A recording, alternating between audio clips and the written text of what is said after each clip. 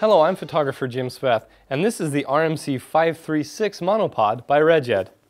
The RMC 536 is a five-section carbon fiber monopod that has an extended length of 166 centimeters or 5.45 feet.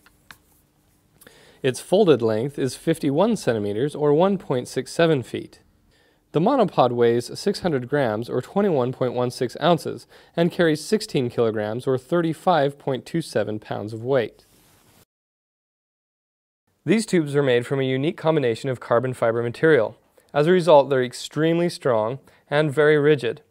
They also have a high grade of vibration reduction. Because of non-rotating legs, all leg locks can be opened in one movement. This makes setup a matter of seconds.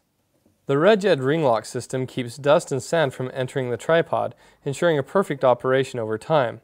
It requires very little effort for a secure lock. The mounting screw is reversible and has both 1 4 and 3 8 threads, so it can adapt to multiple situations.